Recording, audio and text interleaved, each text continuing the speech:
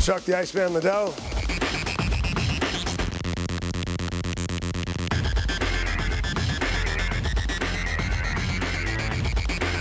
No, my first big memory is kind of kind of a strange one. I I, I finally got into the UFC in the UFC 17, and it, I was showing up. I was cutting weight and showing up to weigh in, and they told me. Uh, the guy I was fighting was two pounds over, and then I En looked el down, weigh-in me dijeron que el tipo con el que iba a pelear estaba unas onzas scale. pasado. You know, not like a digital bathroom scale, one of those ones that actually has a turn dial.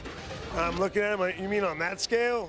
Yeah, it's fine. He can be two pounds over, no big deal. Y di- Uh, I acepté la pelea, dije, ¿qué can- músculo you can están usando? Bueno, no importa. 10 pounds. Eh, I mean, but I, it was a, it las stuck out in my mind because I'm thinking, I finally made it to the big time, and then they're using a bathroom scale for the weigh-ins. Eh, no, no me iba a detener por un peso, ya lo había hecho en grande. Well, the biggest one for me, I, it's hard to say because I've had so many great Uno de los más so grandes, things, sería so- so difícil, great he tenido memories, muchos grandes momentos. It would have to be the Randy fight, the second Randy fight. La- Randy la Couture segunda fight. pelea con Randy. I, when I knocked him out, I, he beat me before. Me, me and, golpeó fuerte uh, primero, pero and logré then noquearlo. Finally, I got, I got the ti- UFC title, and I knocked him out. Gané mi the título de round, UFC so y lo noqué.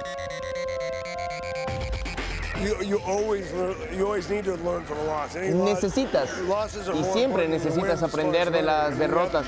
Es muy satisfactorio ganar, pero saber lo que hiciste mal, poderlo mejorar.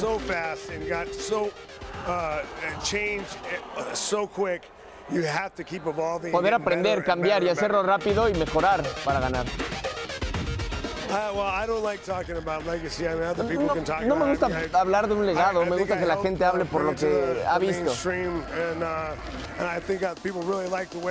uh, I, uh, Espero que la gente haya eh, valorado, que le haya gustado la forma en la que yo peleé. Creo que he hecho mucho por el deporte.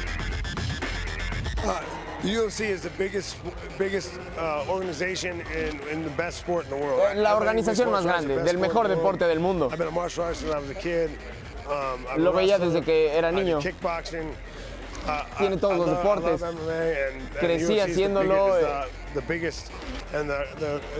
Hace crecer a un deporte que son las artes marciales mixtas y ser el campeón de UFC es lo mejor.